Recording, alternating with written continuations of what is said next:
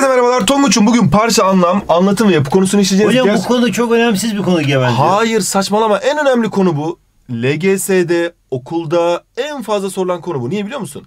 Sene sonunda gireceğin sınavlarda hep Milletin Bakanlığı bunları soruyor. Okulda girdiğin yazılarda ilk üç soru mutlaka bir parçanın anlamıyla, paragrafla alakalı oluyor, bir metinle alakalı oluyor. Şimdi biz ilk başta paragraf bilgisiyle başlıyoruz. Ana fikir, fikirlerin neyidir Tonguç'um? Anasıdır. Harikasın. Ana fikir fikirlerin annesidir. Yani bütün yardımcı fikirler, bütün yardımcı düşünceler ana düşünceye, ana fikre doğru gider. Yazarın asıl anlatmak istediği Vay şey... anam. Ha vay anam da diyebilirsin. Yazarın asıl anlatmak istediği şey hep eserin, parçanın, metnin, paragrafın, hikayenin, romanın ana fikridir Tonguç'um. Burada şuna dikkat et.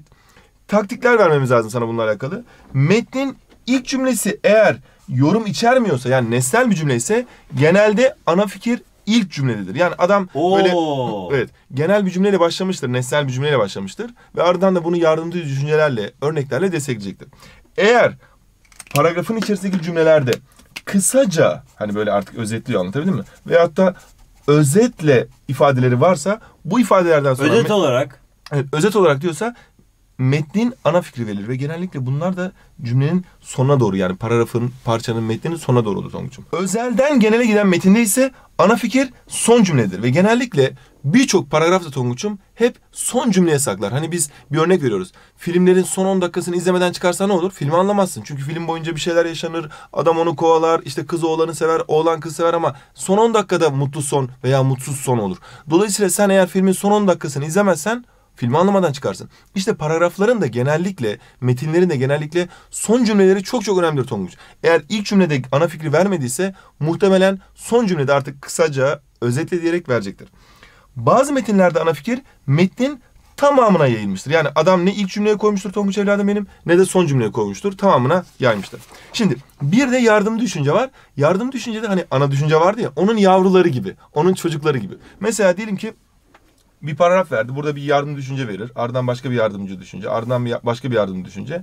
Ardından bir örnek. Ve bana yardımcı olur musunuz hocam? tabii ki çok düşünceli bir insanım. Ben yardımcı olurum sana. En sonunda da ana düşünceyi verebilir. Genellikle Türkiye'deki birçok sınavda okul yazılarına çıkan paragraflar bu şekildedir. Yani adam böyle bir giriş yapar falan falan. En sonunda da sonuç olarak özetlemek gerekirse bundan dolayı bu yüzden yani diyerekten son cümle yazar. İşte bu özet Yani, cümlesinin yani. asıl anlatılmak istenen ana düşünceden önceki yardımcı düşünceleri de bilmemiz lazım.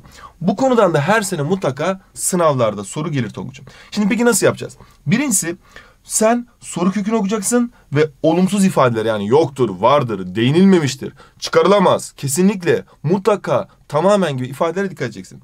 Ve metni tarafsız değerlendireceksin. Yani ya ben buna katılmıyorum. Sen kimsin? Sen buna katılıp katılman önemli. Sen paragraf okuyacaksın sana... Umurumda bile değilsin. Evet. Ve seçeneklerin karşıladığı cümleleri belirlemen gerekir. Bu şu demek. Yani sana diyelim ki burada X'ten bahsetti, Y'den bahsetti, Z'den bahsetti, T'den bahsetti. Seçeneklerde içerisinde X, Y, Z, T'nin hepsinin olduğu ifadeyi bulun. Yani sadece Y ve Z'nin olduğu ifade. Yani diyelim ki yalnızlık ve umut konusunu anlatıyor. Sadece yalnızlığın olduğu seçenek doğru cevap olamaz. Ya da sadece umutun olduğu cevap doğru, cevap, doğru seçenek olamaz. Yalnızlık ve umudu ikisini birden içeren doğru cevap bulmalısın. A seçeneği ilk cümleden, B seçeneği son cümleden bahsediyor. Hmm, o zaman ben tamamını içeren ifadeyi bulmam lazım demen gerekir. Sonrasında doğru cevabı bulup işaretler sonucu. Şimdi bir de paragrafta konu, başlık, şöyle indirelim birazcık sayfamızda yan piriklik olmuş. Tamam şöyle düzeltelim. Evet. De de de de de Evet. de. Konu, başlık ve anahtar kelime diye bir şey daha var Tonguç'um.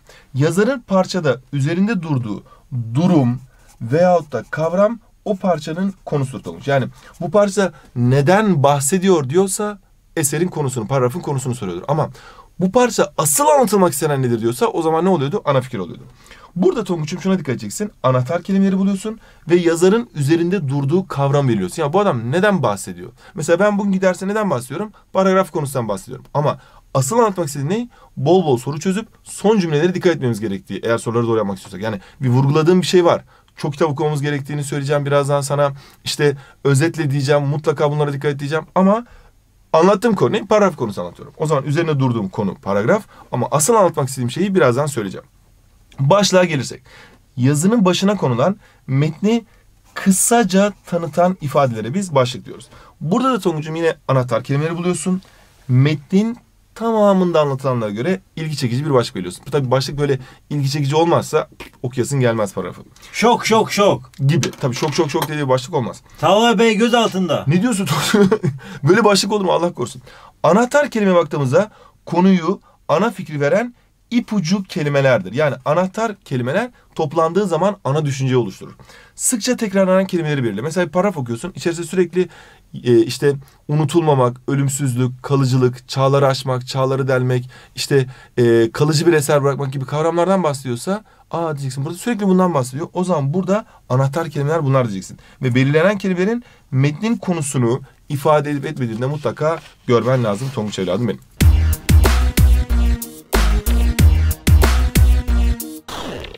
Şimdi gelelim parçada anlama. Şimdi burada parça anlamda şunu bilmemiz lazım. Bize mutlaka okul sınavlarımızda... Çok anlamlı bir konuya benziyor hocam. Teşekkür ederim Tonguç'um. Hem okul sınavlarımızda hem de gireceğimiz sene sonunda Milletin Bakanlığı'nın hazırladığı tüm ülkenin girdiği sınavlarda mutlaka buna benzer bir soru geliyor. Geçen sene de geldi, ondan önce sene de geldi. Ne yapıyor? Hikayenin unsurlarını soruyor. Hikayenin içinde bir olay vardır, bir zaman vardır, bir yer, bir de kişiler vardır. Hikayede kişilerin başından geçen olay örgüsüne yaşananlara biz olay diyoruz. Zaman ise olayın başlangıcından bitişine kadar geçen süreye verilen ad. Yer olayın geçtiği mekan veya mekanlara verilen, yerlere verilen isim. Kişiler de hikayede anlatan olayları yaşayan kahramanlar olmuş oluyor. Tabi bazıları ana kahraman oluyor, bazıları ise yardımcı kahraman ya da bazen de tipler bile olabiliyor.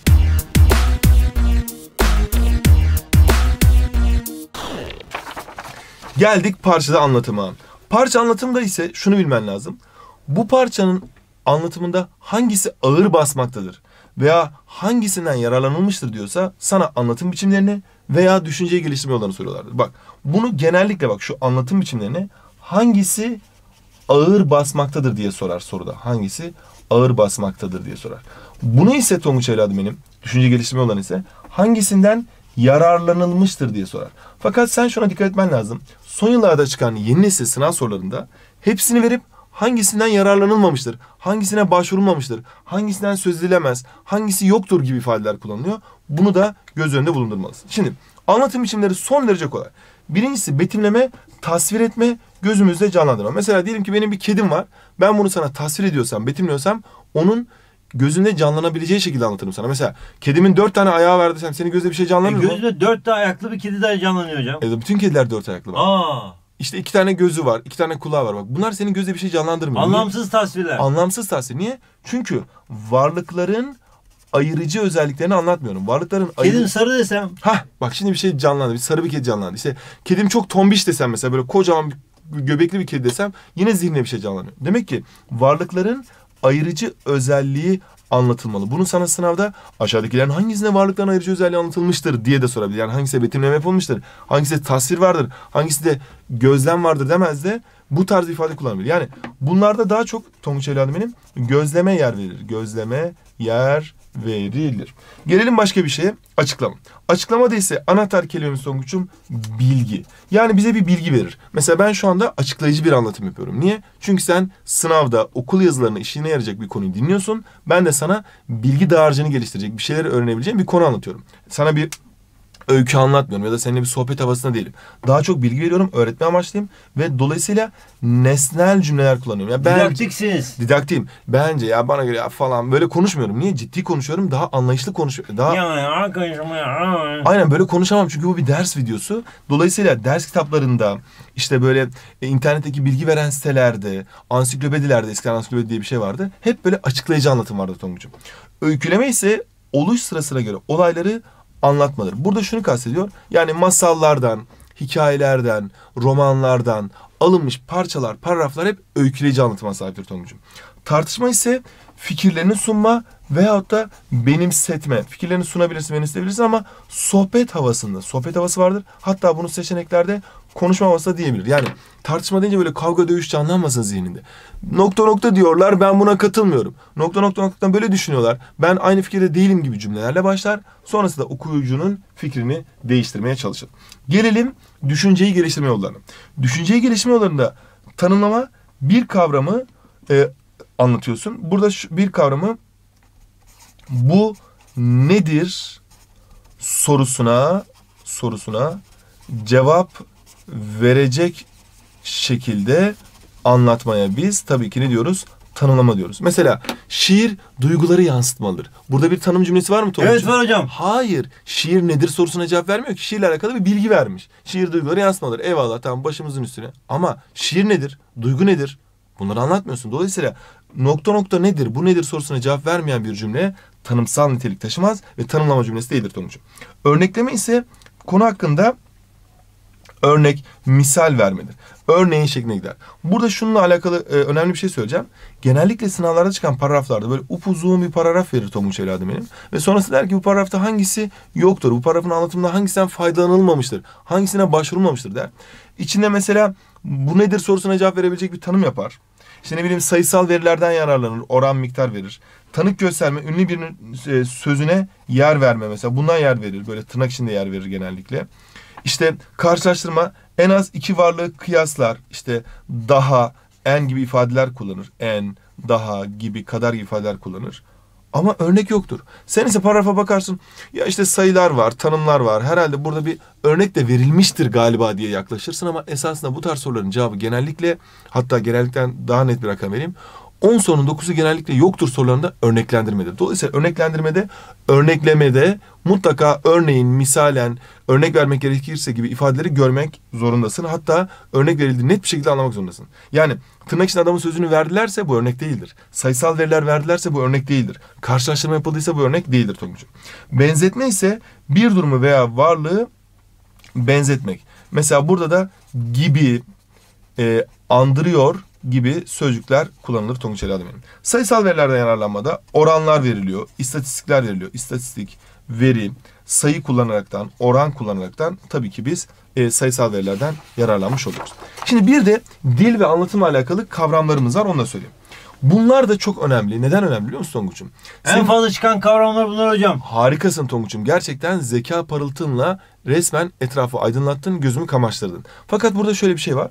Bunları biz böyle oturup da okuyup da anlamaktan ziyade bununla alakalı soru çözüp yanlış yapıp ha ulusallık buymuş, ha evrensellik buymuş, ha kalıcılık buymuş dememiz lazım. Yoksa kalıcılık geçmişte ortaya konan ürünün gelecekte de ilgi görmesi, işte unutulmaması, ee, ne diyelim mesela çağları aşması, işte klasik olması gibi ifadeleri ben buraya yazsam da sen bununla alakalı bir soruyu çözüp de e, doğru yapıp veya da yanlış yapıp çözümünü öğrenmeden bu konu tam aklına girmez. Mesela Yunus Emre çağları delen bir sese sahiptir. Çağlar aşan bir sese sahiptir. Burada işte kalıcılıktan bahsediyor. Sen bunu soruyu doğrusunu öğrenmeden veya yanlış yapıp pekiştirmeden tam anlamıyla öğrenemezsin sonuç. Özgünlük de farklı olma, başkasına benzeme demektir. Çünkü bütün sanatçıların en büyük isteği özgün olmaktır. Yani düşünsene bir kitap yazıyorsun ama taklit etmişsin. Veyahut da bir resim yapıyorsun ama başka birini taklit etmişsin. Hemen dışlanırsın. Hemen böyle seni e, olumsuz eleştirilere tabi tutarlar. Ama sen özgünsen, farklıysan, sıra dışıysan, orijinalsen, basma kalıp ya da tek düzey değilsen o zaman... Ben ger- basma kalıbım hocam. Aynen sen basma kalıp klasik espriler yapıyorsun. Ama özgün, orijinal, farklı, sıra dışı e, espriler yapabiliyorsan o zaman herkes der ki özgünlük. Bir de özlülük var Tonguç'um. O bambaşka bir şey.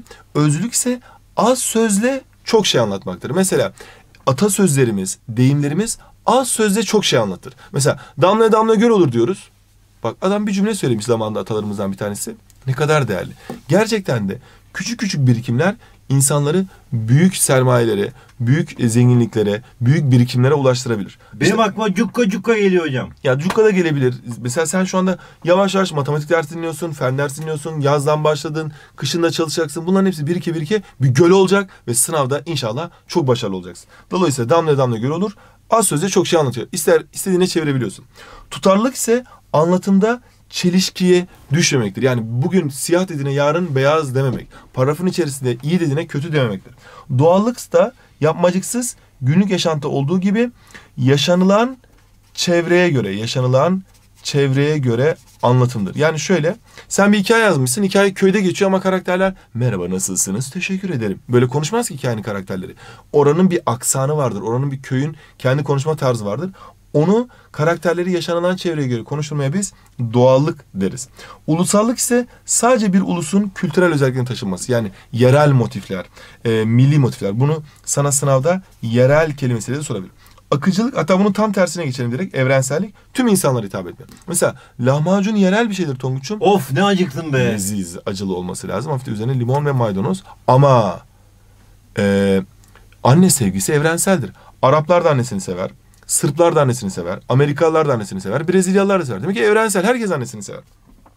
Akıcılık yazının kolay okuması, takılma yaşanmamasıdır. Yani rahat rahat anlaşılır bir dil, akıcı bir dil vardır. Hatta bunun biraz daha ötesi sürükleyiciliktir Tonguç'um.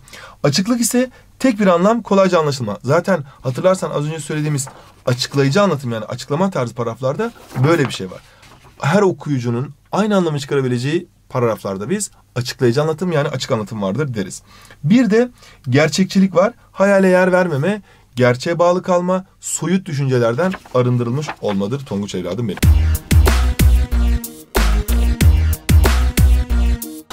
Şimdi gelelim parçada yapıya. Oh be en sevdiğim kısma geldik hocam. Sen de her seferinde aynı şeyi söylüyorsun ama sonradan e, arkasından da o kadar... O kadar Bayılıyorum parçalı yapıya. Gerçekten çok hoşuma gidiyor. Parça yapıyı ben de çok seviyorum. Bazen gerçekten öğretmen olmama rağmen... Sarılasım geldi şu anda kont- evde sayfaya. dur yok o kadar da değil ama ben de bazen gerçekten bu e, itirafta bulunmalıyım. Bazen evde ben de kendim çıkarıp test çözesim geliyor böyle parça yapı bilhassa çözesim geliyor çünkü özlüyor insan o günleri. Yani o öğrencilikteyken o testi açmak, o parça yapıyı, o bambaşka, Kokusunu koklamak. o bambaşka bir duygu. Böyle ya- yanlış yapıyorsun cevap anahtarına bakıyorsun. Aa C demiştim ama D'ymiş. Aslında ben de D demiştim diye cevabını değiştiriyorsun. Sonra oraya doğru tiki atıyorsun falan. Bu tarz duygular yani zamanında fazlasıyla yaşanması gereken duygular. Şimdi devam edelim. Parça yapı saçma sapan konuşuyoruz Tonguç'um sen. Metin oluşturma. Metnin tabii ki öncelikle giriş cümlesini belirlemen lazım. Burada şuna dikkat et. Giriş cümlesi Tonguç. Bu yüzden işte dolayısıyla ee, başka ne diyebiliriz? Böylece gibi kelimeler ilk cümlede bulunmaz. Yani bu ifadesini ilk cümlede göremezsin. Bu kim ne diyorsun yani? Ne diyorsun ya? Mesela ben videoya başladığım zaman merhaba arkadaşlar bu konuyu iyi bilmelisiniz. Burada e, az önce anlattığım şey çok önemli. Dersin, deli misin hocam dersiniz yani. Daha yeni başladın. Bismillah ne yapıyorsun? Bu, budan neden bahsediyorsun? Daha bir şey anlatmadı ki dersin. İşte bir paragrafta girer girmez bu yüzden bundan dolayı diyemez. Dolayısıyla bir metnin giriş cümlesinde de da bu bu yüzden bundan dolayı böylece gibi ifadeler olmaz. İkincisi oluş sırasına dikkat etmen gerekir. Tabii ki önce, sonra, işte başka ne diyebiliriz? Daha sonra, e, ne olabilir başka? En sonunda gibi ifadelere dikkat etmelisin. Bunlar aşamaları belirler. Her cümlenin kendinden önceki e, cümle ile anlam ilişkisini de sağlaman lazım. Mesela Türkçe'de V diyorsa artı artıdır yani bir şey ekliyordur veyahut da eksi eksidir. Ama ama kelimesini söylüyorsa artı varsa sonra eksi gelir. Yani olumsuz bir şeyden bahsediyorsa olumluya, olumlu bir şeyden bahsediyorsa olumsuza geçmesi gerekiyor. Mesela Tonguç çok zekidir ama Teşekkür ederim hocam. ama diyorsam bundan sonra olumsuz bir şey söyle. Tonguç çok zekidir ama çalışkandır desem bu saçma olur. Tonguç zekidir ama tembeldir dersem ha şimdi oturur anlam yerine. Gelelim metin tamamlamaya. Metin tamamlamada metni anlam bakımından tamamlayan en doğru seçeneği belirlemen lazım. Mesela burada şuna dikkat et. Oysa, ancak, ama, fakat gibi karşıt düşünce belirten ifadeler varsa cevap metinde savunulan düşüncenin tam aksi oluyor. Ve metnin sonundaki cümlelerde genellikle anlatılanları özetler bunu da biliyoruz. Metni ikiye bölmede ise metnin ilk başta Tonguç evladım benim konusunu belirlemen lazım. Cümle cümle incelemen lazım ve konunun değiştiği cümleden metni ikiye bölmen gerekiyor. Yani Anadolu'nun insanından bahsedip bir anda Anadolu'nun coğrafyasına geçiyorsa, yerel e, doğal güzelliklerine geçiyorsa bunu yakalaman lazım. Akışı bozan cümlede ise ilk başta metnin konusunu belirliyorsun. Konu bütünlüğüne göre ar, e, konu bütünlüğüne uymayan konu bütünlüğüne uymayan cümle akışı bozuyor. Burada da sana şöyle bir taktik verebilirim Tonguç'um. Bunu da yüzde 90 tutar yani yüzde yüz tutmayabilir ama bunu da bil. Şimdi mesela bir birinci cümle verir sana. Sonra bir ikinci cümle verir. Sonra bir üçüncü cümle verir. Sonra bir dördüncü cümle verir diyelim ki. Akışı hangi cümle bozuyordur der. Eğer akışı ikinci cümle bozuyorsa üçüncü cümlenin içerisinde genellikle bu, bu durum, bu yüzden gibi ifadeler vardır. Bu şundan dolayı. Biri anlatır, sonra birle bağlantı kurmak için üçe bu bu durum derken üçte biri bağla. Dolayısıyla eğer akışı iki bozuyorsa üçte bu yazar. Üç bozuyorsa dörtte bu yazar. O yüzden bu ifadelere dikkat etmen gerekir Tonguç evladım benim. Ama bu her zaman olmayabilir. Bazen başka hepsinde de bu'yu görebilirsin. Veyahut da hiç bu olmadığı halde direkt akışı bozan cümleyi bulman gerekir. Cümlelerin yerini değiştirmede de anlam bakımından birbirini tamamlayan cümleleri arka arkaya getirmen senin için en doğru şey olur. Geldik tablo, grafik ve görsel Oo, en yorumlamaya. sevdiğim kısım gerçekten de bu hocam. Gerçekten öğrenciler eskiden paragraf sorularına... Çünkü çok basit. Şekillerle hemen çözüyoruz. Aynen dediğim gibi. Eskiden öğrenciler çok sıkılıyorlar. Diyorlar ki hocam paragraf sorularında hiç resim yok. Biz sıkılıyoruz. Bize en azından böyle bir içine resim koysunlar. Bir yüreğimiz açılsın, bir gözümüz açılsın diyorlardı. Milletin Bakanlığı da öğrencilerden gelen bu yoğun talep üzerine dedi ki bize artık paragrafları direkt COS diye paragraf sormayalım. Böyle grafikler soralım, görseller koyalım, böyle resimler koyalım. Bak ne güzel. Mesela böyle sıkıcı bir paragraf yerine görseller koyuyor. Biz de yeni nesil uygun bir şekilde görselli soru örnekleri de koyduk. Şimdi bunları beraber hem çözeceğiz hem inceleyeceğiz hem de keyifli bir yolculuğun içinde adeta kaybolacağız sonucu. Şimdi görsel okuma. Burada şunu bilmemiz lazım. Günlük hayatta sen mesela kırmızı ışık yanınca sen duruyorsun öyle değil mi? Gerçi siyah ışık çizdin ama mesela şöyle. Sen şunu gördüğünde adam sana dur demese bile duruyorsun. Veyahut da şunu gördüğünde adam sana geç demese bile geçiyorsun. Şimdi bu ne anlama geliyor? Bu demek ki burada bir yazı var esasında. Burada bir ifade var. Sana kırmızı ışığı yakaraktan bir e, bir mesaj veriyor. Veya yeşil ışığı yakaraktan bir mesaj veriyor. Oraya dur, geç, bekle, çatlama gibi ifadeler de yazabilirdi. Ama onun yerine kırmızı yazıyor, kırmızı yakıyor, sarı yakıyor. İşte günlük hayatımızda da görsel okuma her yerde var. Mesela diyelim şöyle bir şey gördün ya. Bu ne anlama geliyor?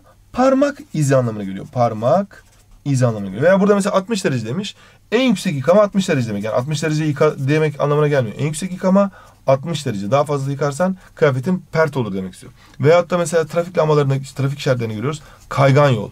Veyahut da işte e, Wi-Fi alanı yani internet erişim alanı diyelim buna. Türkçe yazalım. İnternet erişimi diyelim. İnternet erişim alanı. Hani Wi-Fi diyoruz da biz kablosuz erişim tabii bu da. Ee, burada mesela yaya yolu. Mesela bunu gördüğün zaman araç sahipleri mutlaka yavaşlar. Aa burada yayalar geçiyormuş diye. Veyahut da arama mesela araştırma gibi. Veyahut da ütü yapılabilir anlamına geliyor bu. Veyahut da işte e, vahşi hayvan çıkabilir gibi bir şey mesela geyik çıkabilir. Ne yapıyorsun ya? Hayır bak bu işareti söylüyorum.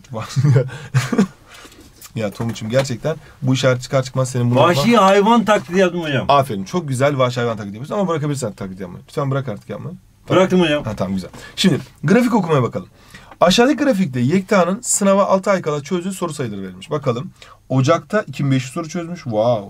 Şubat'ta 2000. Mart'ta 2500. Nisan'da biraz sıkılmış. Nisan-Mayıs ayları gevşer gönül yayları biraz tembellik yapmaya başlamış. 1500 soruya düşmüş. Ama Mayıs'ta sınava az bir süre kaldığını düşünmüş. Ve son tekrara abanmış. 3500 soruya çıkmış. Haziran'da da zaten ortasında sınava girdiği için 3000 soruyla bitirmiş. Tebrikler Yekta'ya. Şimdi burada biz ne yapacağız? en az soruyu hangi ayda çözdüğü zaman en az soruyu nerede çözmüş? Şubat'ta. Hayır bak Şubat'ta 2000 Nisan'da çözmüştür diyebilmelisin.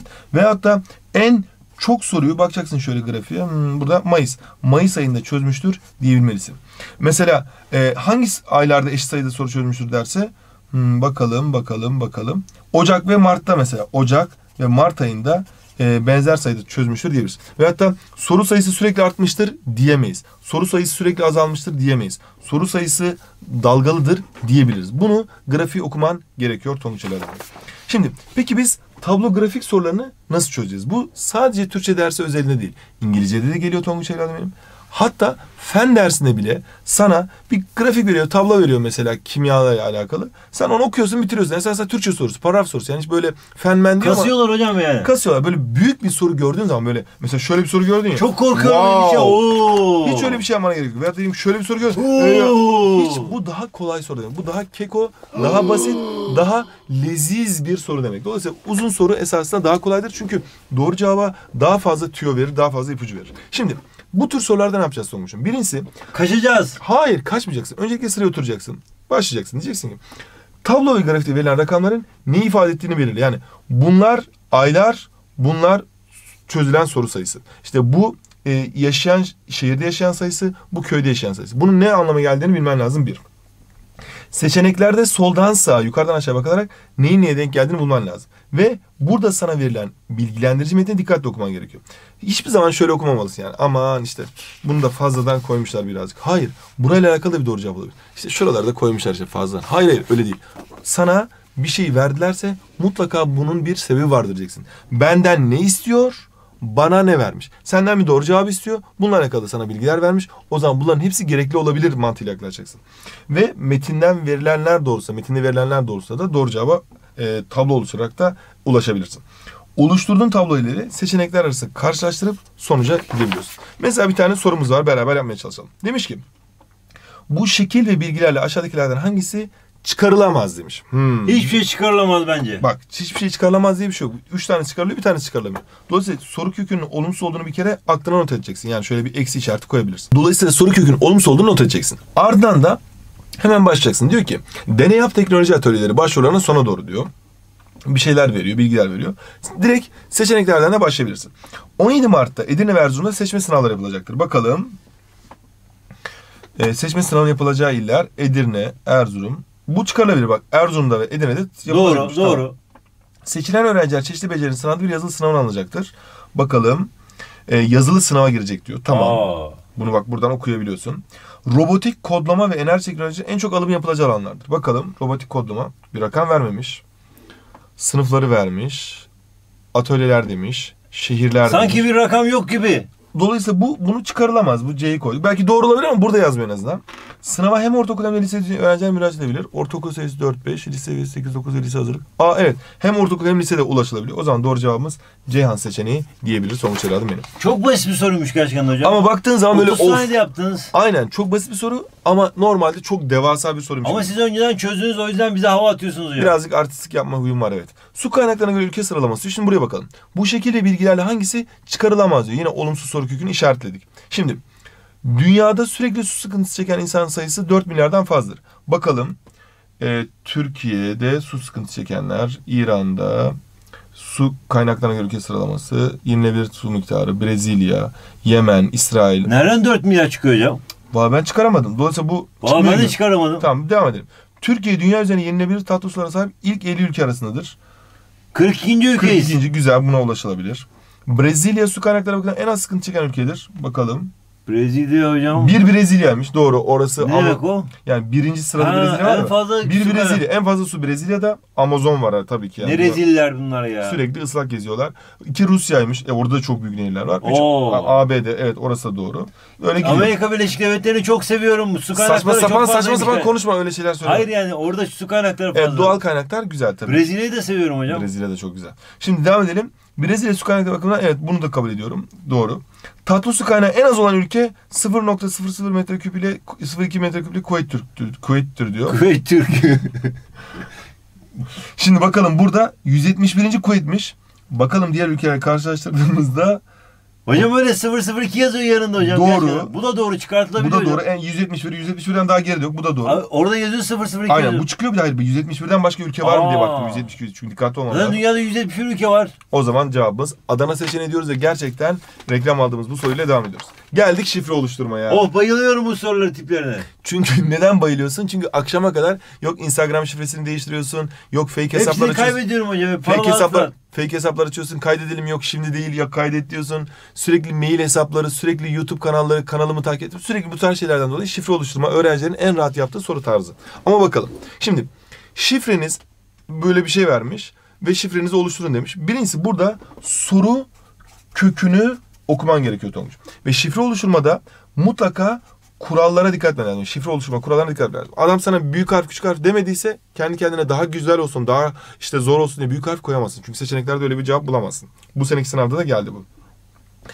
En az 6 en az 6 en fazla 8 karakter kuralına dikkat etmen lazım. En az bir büyük harf. Bak burası önemli. Başka ne diyebiliriz? Bir küçük harf.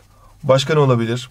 İşte rakam, bir rakam, bir sembol gibi ifadelere mutlaka dikkat etmelisin. Burada bunları söylüyor çünkü. Sen eğer e, işte çok zor bir şifre oldu dedin ama mutlaka sana şöyle yapacak bak şimdi. Seçeneklerde A diyecek, B diyecek, C diyecek, D diyecek. Şifreniz en az bir büyük harf, bir küçük harf diyor ya. İçerisinde büyük harf olan mutlaka seçenekler olacak ama bir tanesinde küçük harf olacak. Yani büyük harf olmamış olacak. Yani hepsinden birer eksiği olacak ama bir tane seçenekte burada verilenlerin hepsi olacak. Dolayısıyla birazcık sabır sorusu bu. Seçenekleri incelemen gerekiyor ve doğru şifreyi de belirlemen gerekiyor. Dolayısıyla bu konu biraz daha kolay diğerlerine göre. O zaman bilmemiz gereken şey şu. Son cümlelere dikkat ediyoruz. Bol bol soru çözüyoruz.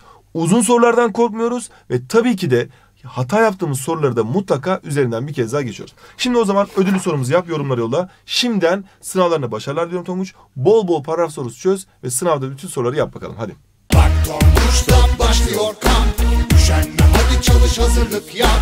Şimdiden bu sorulara cevap. Sınavda yapma boşa hesap.